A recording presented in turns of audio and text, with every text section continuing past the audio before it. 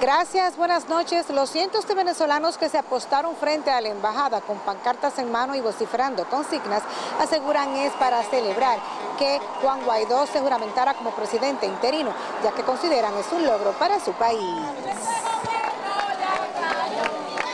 Desde las 2 de la tarde de este miércoles, los venezolanos acudieron algunos con toda la familia, pidiendo la paz para su país. Hoy Venezuela es libre, después de 20 años de miseria, de dictadura, hoy podemos decir que Venezuela es libre porque tenemos un presidente interino que es Juan Guaidó. Estoy muy orgullosa que Dios hizo justicia, porque de verdad los hijos de nosotros están fuera. Y estoy yo aquí, y soy venezolana, estoy aquí, porque no se puede vivir allá en Venezuela.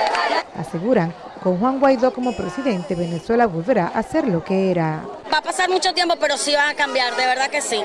Tenemos la fe y la esperanza de que que con esta persona sí vamos a, a, tener otra nueva Venezuela. Y creo que este es día de victoria, de gozo, de paz, porque podemos tener la esperanza de algún día volver a regresar a nuestro país. En ambas vías de la avenida Anacaona, desafiando la lluvia, los venezolanos expresaron sentirse de júbilo por tener un nuevo gobernante. De verdad que salió una luz en medio de, de, de, de tanta oscuridad. Hoy por hoy estamos dando la cara aquí aunque la lluvia caiga, aunque caiga lo que caiga, vamos a estar aquí apoyando a Juan Guaidó.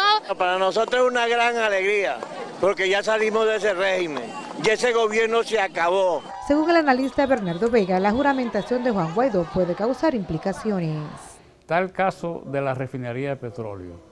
Los Estados Unidos seguramente van a colocar un embargo a las operaciones financieras de PDVSA. Ya el gobierno norteamericano dijo que si Maduro usa violencia, todas las opciones están en el aire. Guaidó puede optar, si lo persiguen, irse a una embajada y pedir eh, refugio allí. Ojalá que no tengan que llegar ninguna tropas extranjeras a Venezuela para que ese país hermano resuelva su problema. No lo pueden tolerar. Vaya, vaya, vaya, vaya, De mierda, que destruyeron mi país. Mientras representantes del movimiento chavista trataron de agredir a los manifestantes de la oposición.